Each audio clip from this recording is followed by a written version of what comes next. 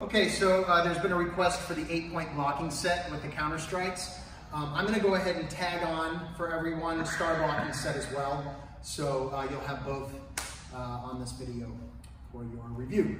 So we'll start just from a horse stance, open up to a horse. We'll start with the star blocking set, right arm first.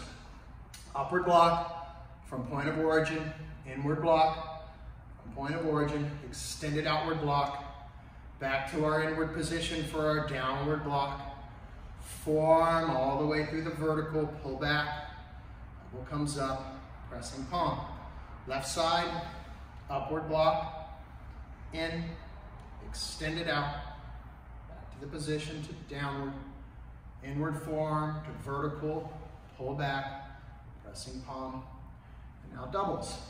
Right over left, cross, extended, down, back in, verticals, pull, and pressing palm.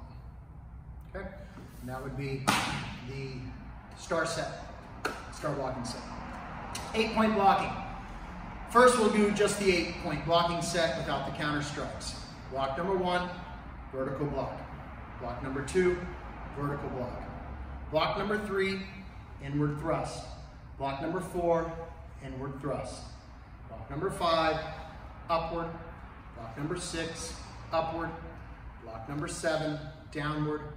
And block number eight, downward. With the counter strikes, block number one, punch.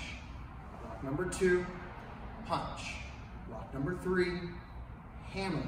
Block number four, hammer.